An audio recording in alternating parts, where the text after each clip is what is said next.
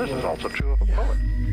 Couldn't care less what you thought or felt about him or anything, as long as he gets his effect across. It's, it's simply fantastic, the unconsciousness of our Western world with regard to I the... had a rowboat on the Assiniboine and a sailboat on the Red River, and they were about half a mile apart,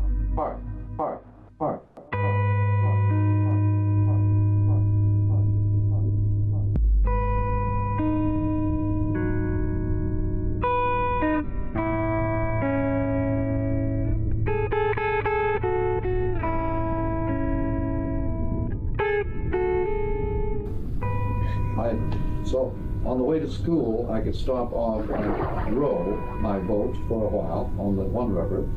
And when I went after school, after I finished delivering my papers, I could go down to the Red River and sail. And I did these things all the time. How old were you then?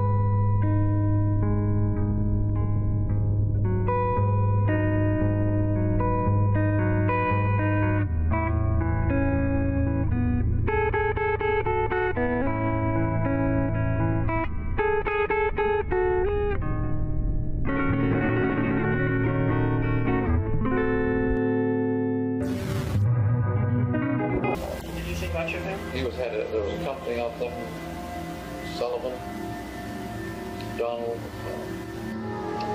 I always had to give mother I had something rather important to do. And um, I think probably my father probably had something to do with Boston that I did. My father was a great educator. That is in the sense that he loved to, to build young people up in their own idea of themselves. He, uh, a lot of Elizabethan poetry, and particularly Shakespearean poetry. And my father had done a lot of specialized study of Shakespeare. Billy uh, was quite a psychologist. And enormous raconteur. My gosh, what a raconteur. He was a, an insurance. He was a, What a raconteur.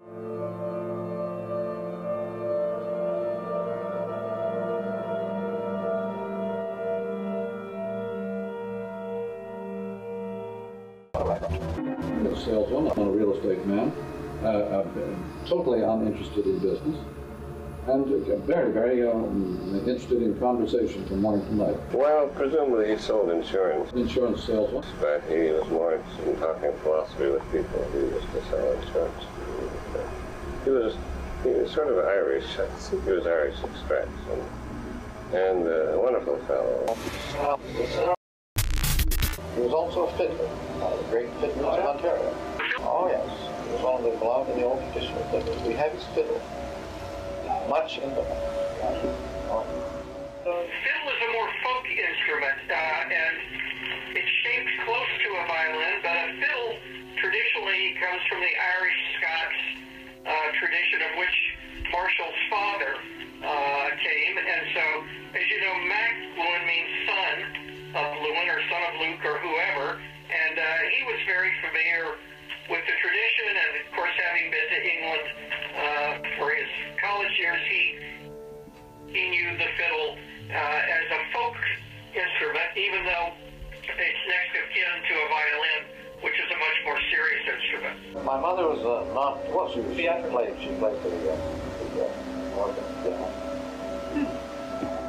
But uh, in a modest degree, she read music. She had my brother and myself uh, musically educated as far as we wanted to be. Did you learn instrument? Uh, just uh, my case, just to be almost. Uh, my my left-handedness had something to do with making with the poor subject for musical training. My brother was a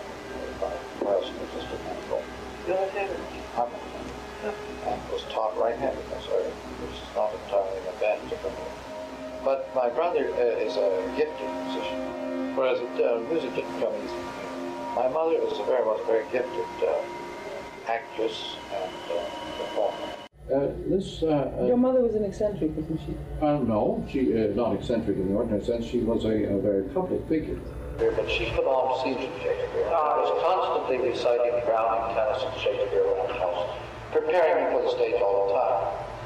Um, yes, the, she was an elocutionist, again trained out of Boston by Alice Leone Mitchell from the Emerson School of Eloquence in Boston.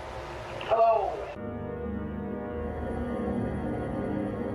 and tea and so. They were part of the big the whole bunch of my living back, so what do you want?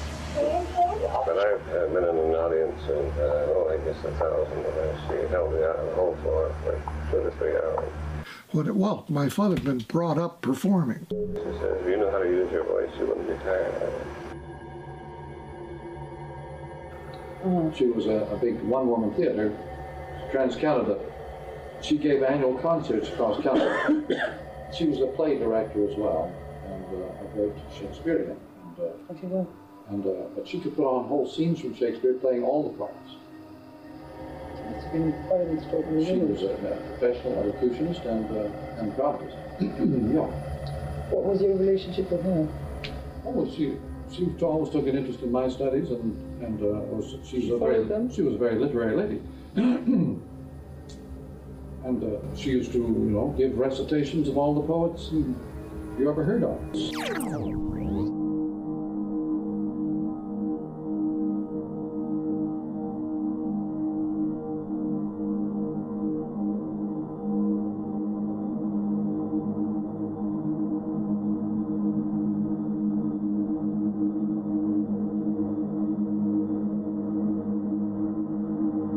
Instead of a nice, smooth, melodic line, you have these abrupt interruptions which permit far more involvement